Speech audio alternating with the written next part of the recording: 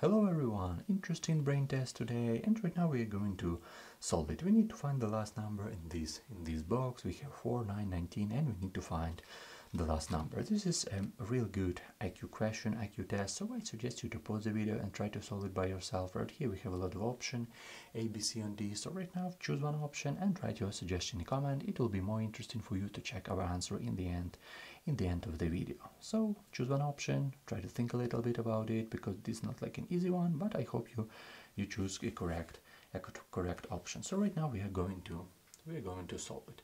We have 4, 9 and 19. So let's let's let's start with a little bit think right here. So we have 4, 9 and right here we have 19 and we need to find this number.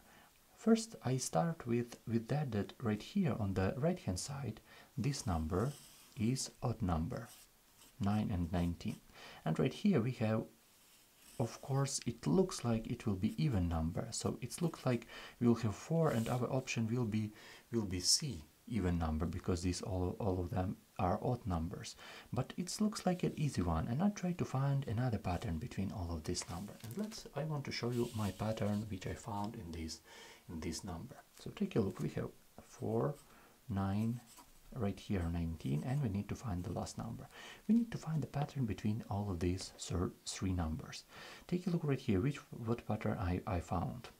If we look at 4 and 9 if we goes from the left to right for example right here if it goes right here we will need to multiply this 4 by 2 and add 1 so if we do this we will have we will have 4 times 2 and add 1 so this is our pattern. And right here we have we have 9 which is which is this number. But this is a pattern times 2 and plus 1 and let's check this pattern in this case. Let's go like like a watch right here. 9 and 19 if we multiply this 9 by 2 and add 1 what we'll have? We'll have really interesting really interesting answer because 9 times 2 plus 1 it will be 18 plus 1 it will be 19 which is absolutely correct because right here we have 19.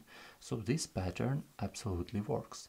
And it looks like the next number we goes right here and we need to multiply by 2 and add 1. So check this pattern. So we have 19, we multiply this 19 by 2 and add 1. So this is our pattern.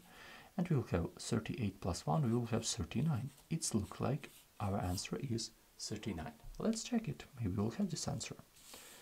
Of course, we have this option, option D.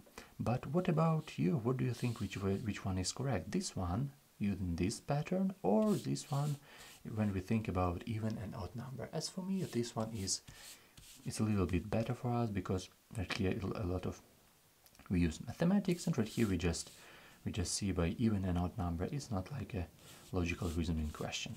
But what about you? Maybe you find another pattern between all of this number. It will be read it. And of course, write your question in comment, write your suggestion in comment.